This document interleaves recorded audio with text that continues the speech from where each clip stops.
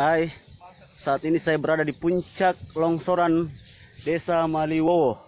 Kita lihat tingginya longsoran mencapai 500 meter. Di sinilah longsoran pertama kali terjadi. Awalnya keretakan sedikit pada tanah di sekitar eh, daerah sini, kemudian membesar dan terjadilah longsoran yang super dahsyat yang melanda desa Maliwowo, kecamatan Angkona.